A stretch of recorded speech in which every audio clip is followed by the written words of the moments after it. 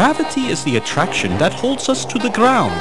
Here on Earth, the gravitational force we feel, we measure 1g. In 1630, Italian scientist Galileo went to the Leaning Tower of Pisa. In his hand, he had a one-pound ball and a ten-pound ball. He dropped these balls at the same time from a great height and learned, to the amazement of the people below, the balls fell at the same rate. How can this be? One weighed one pound and the other weighed ten pounds, yet both fell at the same rate. Galileo showed that the pull on the objects was the same. This pull we call gravity.